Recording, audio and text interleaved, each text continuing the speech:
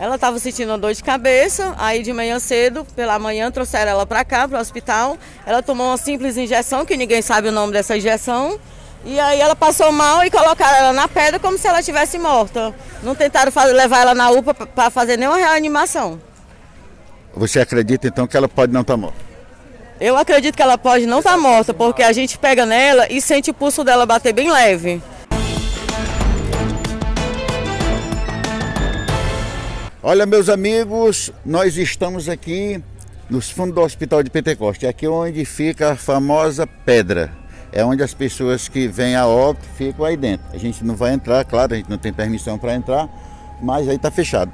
Aconteceu o seguinte: é, uma senhora, a Maria Tatiana, que tem 24 anos, ela passou mal, veio aqui para o hospital e, segundo a família, ela teria tomado uma, um medicamento e a situação piorou e ela veio a óbito.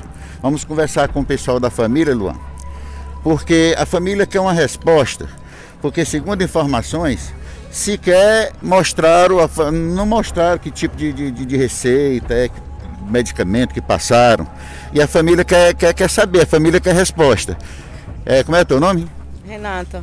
Renata, tu é o que da, da, da, da Maria? Eu sou prima dela. O que foi que aconteceu, Renata? De manhã cedo, pela manhã, trouxeram ela para cá, para o hospital. Ela tomou uma simples injeção, que ninguém sabe o nome dessa injeção. E aí ela passou mal e colocaram ela na pedra como se ela estivesse morta. Não tentaram fazer, levar ela na UPA para fazer nenhuma reanimação. Você acredita então que ela pode não estar tá morta?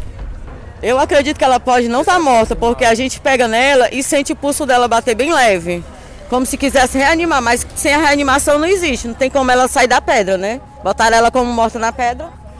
Mas assim, é, na, na, no caso aí, com certeza ela foi atendida pelo médico, né? Assim, eu, eu creio que o que, é que vocês querem hoje, agora? Agora o que eu quero realmente é que um, uma das pessoas tome a atitude de levar ela na UPA e tentar fazer a reanimação nela, porque eu acredito que ela não está morta. Ela tomou a medicação, intoxicou todinha, está ficando toda roxa. Da medicação, né, que deram nela, com certeza errada. A moça disse que ela está sentindo dor desde quarta-feira. Aí foi, ela veio normal hoje, tomar injeção, os remédios. Ela chegou aqui, obrigada. Mal deixaram ela explicar o que, que ela estava sentindo. Foram logo passar uma injeção para ela e a menina que estava com ela disse que depois da injeção ela começou a escumar e se bater. Depois disso só chegaram para a menina e disseram, pronto, ela morreu, pronto. Aí foi, a mãe veio para olhar se era verdade mesmo e o médico disse que era. Não quiseram dar o papel à receita e não falaram mais nada, nem tentaram dar reanimação nela, porque eu sei, o meu pai já sofreu acidente, eu sei como é que funciona. Não tem nada, é sério, no corpo dela não tem nada, você pega, você sente ela sentinha ainda, ela quente ainda, a pulsação fraca é, mas tá. Ela vai morrer, mas é do jeito que tá aí e ninguém fazer nada por ela. Mas morta ela não tá. É, pelo que as meninas aqui, né, me informaram, que eu acabei de chegar, diz que ela veio falando e tudo, né? Foi só uma falta mesmo de responsabilidade daí, né? Que só fizeram aplicar a injeção na menina e já deram como morta. Eu acho isso um absurdo, né? Porque a família que fica aqui fora não pode entrar, não pode falar, não pode nada. Chamaram a polícia para tirar a gente lá de dentro. Ah, vocês estavam lá perto dela, chamaram a polícia. Chamaram a polícia chamaram e mandaram a gente sair. a gente pra fora, como se a gente não fosse ninguém. Não podia ficar, porque só quem podia ficar era só a mãe. Aí ficou só a tia dela e a mãe dela lá dentro. E ainda tá lá nesse momento? Não, a, Maria tá aí sozinha e a minha tia tá lá, lá na frente. Não tá com o corpo não, ela tá sozinha aí, na, na pedra. A nossa, nossa, nosso descaso é disso aí, porque em vez deles fazer alguma coisa, eles deixaram ela aí como morta e pronto. Ela morava no, na cerquinha? Isso, morava na cerquinha. cerquinha. É. Ela já tinha sentido algum problema de saúde antes? Não, a única coisa que ela vinha reclamando era só dessa dor de cabeça. Aí ela veio, entrou, deu entrada com essa dor de cabeça. Ela ficou mais perto da dor dela. Bom, como é o nome da senhora? Mariana Rodrigues. É o seguinte, é esse. Ela saiu de casa às 7 horas da manhã, com dor de cabeça na nuca. Veio ser atendida aqui. Assim que ela chegou com a moça que trouxe ela para socorrer, ela passou mal. Quando aplicaram a injeção, já foram tipo dizendo, tá morrendo. E tá aí, ela tá na pedra. Ela não foi reanimada, porque se ela fosse, ela tinha que ter marca em cima do peito, ela tá toda intoxicada. E aí a mãe dela disse para mim que ela tem problema de pressão. Nós quer saber a causa mesmo, eu quero ver o papel do nome da injeção. Aí a gente só viu falar que foi um tal de Fenergan mas eu quero ver o papel. O médico veio, ele não trouxe nenhuma satisfação, simplesmente saiu aí arrodeado de polícia. A polícia veio? A polícia já veio aqui, botou todos os familiares para fora. Eu não sei quem é que ficou lá dentro, mas a gente quer uma satisfação. Ela é ser humano. Não morreu de Covid, não veio com doença nenhuma. O problema dela era uma dor de cabeça forte que ela estava sentindo. A gente só quer uma satisfação. Todos nós aqui somos da família. Eu sou prima ainda afastada, mas chego a ser prima dela ainda. Mas eu vi ela saindo. Saiu conversando normalmente. Ela estava conversando normalmente? Conversando normalmente. Nesse instante acabou de sair o rapaz que trouxe ela na lotação. Ela veio conversando, ela estava normalmente. Só estava sentindo a dor. E eu não me. Eu só, só a, minha, a chateação que eu estou sentindo aqui, o médico veio.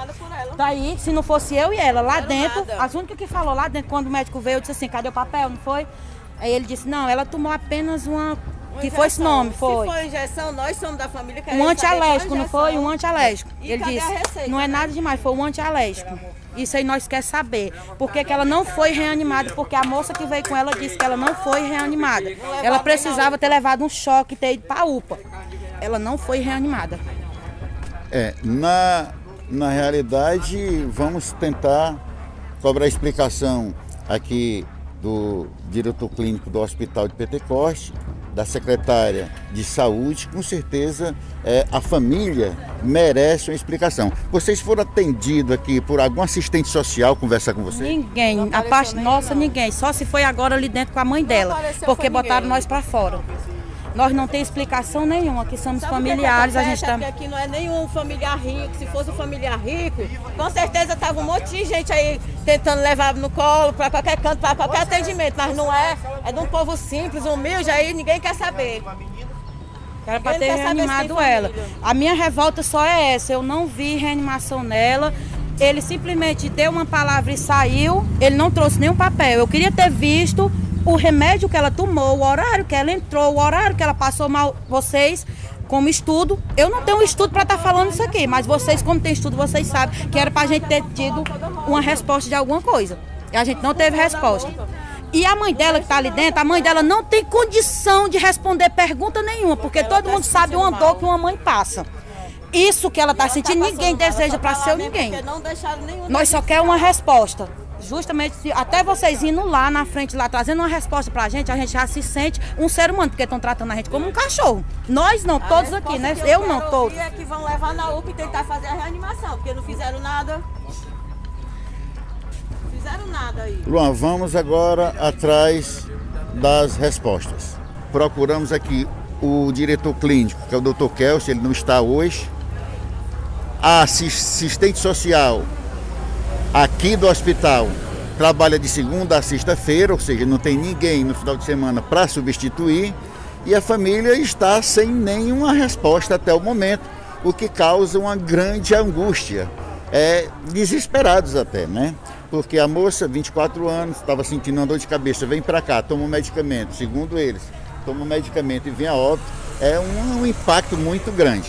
Por isso, meu amigo Luan, é, nós vamos continuar procurando as respostas. O espaço vai estar aberto para a prefeitura se manifestar, para a Secretaria de Saúde se manifestar sobre essa situação, direção do hospital, porque nós vamos continuar cobrando a resposta e que a família tem o direito de saber o que é que realmente aconteceu.